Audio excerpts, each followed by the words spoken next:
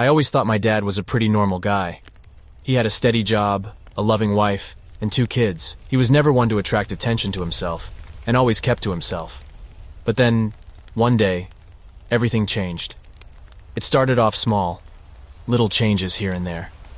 He would come home from work with scratches on his arms, claiming he didn't know where they came from. He started talking to himself more often, and he would laugh at things that weren't funny. But it wasn't until he started acting aggressively towards us that we really started to worry. He would fly into rages over the smallest things. One time, my sister left a cup on the coffee table, and he flipped it over, spilling the contents everywhere. Another time, he punched a hole in the wall because my mom forgot to buy his favorite brand of cereal. It was like he was a completely different person. We tried talking to him about it, but he just brushed us off. He would tell us he was fine and that we were overreacting. But we knew something was wrong. And then, things started to get really creepy. One night, I woke up to the sound of whispering. I thought it was my parents talking, so I got out of bed to see what was going on.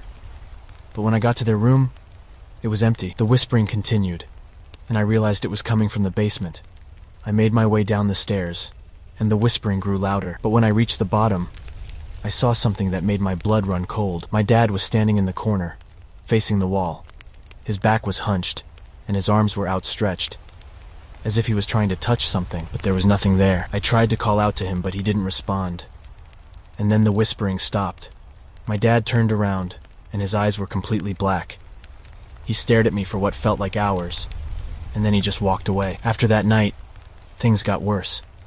My dad stopped coming home at night, and we would find him sleeping in the woods behind our house. He would come back covered in dirt and blood, and he wouldn't tell us where he had been. And then, one night, he didn't come back at all. We searched for him for days, but there was no sign of him. And then, one day, we received a package in the mail. It was addressed to my mom, and when she opened it, she found a note and a lock of hair. The note read, I have your husband.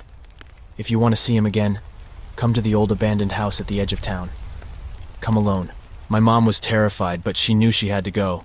She left in the middle of the night, and I stayed behind with my sister. Hours passed, and my mom still hadn't returned. And then we heard a knock at the door. It was my dad, but he wasn't the same. His eyes were still black, and his skin was pale and cold. He was murmuring something. When I came near him, the words became more clear. My death was accident, but my brother was innocent. It was the words that were coming from my father mouth. Suddenly, my father fall down on the ground. It was my mother who hit her from the behind. She knew what was going, but was hesitant to tell me. I told her that if you don't tell me, I will take my sister to child support services, and they will take care of it. I know I can handle this trauma, but my little sister should get best everything in her life. After hearing about child support services, my mother feared and told me everything. She said before your father's 15th birthday, we were going to plan a surprise for him in the cabin near the woods. It was perfect place for young teenager to spend time, but your father friend Ron and his brother Adam was having some other plan. They thought of doing a blood ritual to bring their dead sister back. They were going to sacrifice me for that, but at the right moment your father came and saved me. But the demon wants sacrifice, so Ron was sacrificed in the ritual. Adam was shocked and began saying, You killed my brother.